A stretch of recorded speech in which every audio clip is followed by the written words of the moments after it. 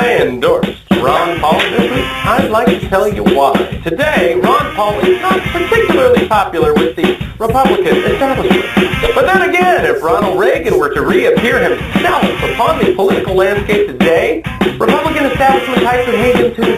He'd be mocked and ridiculed by the likes of John McCain and Lindsey Graham. Mitt Romney would call him an extremist, but Ronald Reagan would be embraced by the Tea Party. Those on their way to Mordor, which I do not take as a slight, I might add. Washington is Mordor, Senator McCain. You don't even know it, but you're the butt of your own joke.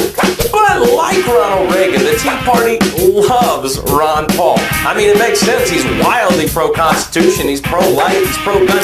So it begs the question, why don't Republicans like him? Even as I say those words, the question seems outrageous. Republicans,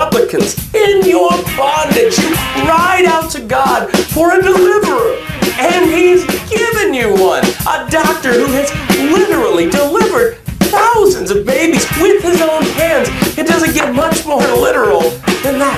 You cried out to God for a man who could resist corruption, and he gave you one. Last year, Representative Paul's office sent back $100,000 to help pay down the national debt. This year, his office sent back $140,000. The guy can't be bought. He won't even claim congressman. That's extreme for me. Republicans cried out to God for limited federal government.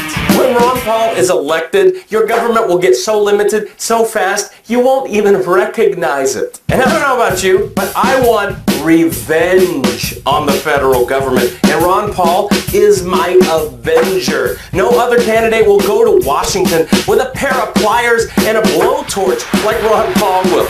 I want those public, puffy parasites to feel what it's like to stand in the unemployment lines that they have created. I want them to fill out an application for welfare and get rejected because, whoops, Ron Paul got rid of that too. When he's elected, Ron Paul will slash and burn federal bureaucracy like a Cambodian communist. Republicans cried out to God for a candidate with a real track record. Ron Paul has served as an elected official for longer than some congressmen have been breathing, people decades of service as an elected official, courageous military service in Vietnam. Nobody's track record, and I mean nobody's track record, touches Paul's. Okay, you say. Ron Paul, he's got some integrity. But can he win the independence? Is that a joke? Friends, Rome, Ron Paul should copyright the word independence.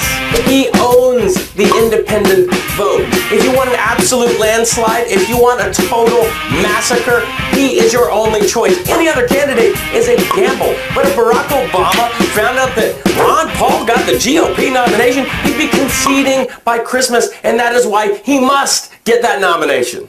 Ladies and gentlemen, America is bleeding out. But I don't need to tell you that. You know that. You feel it as you hear these words. But I do need to tell you this. If Barack Obama is Jimmy Carter, then Ron Paul is Ronald Reagan. You just didn't know it yet.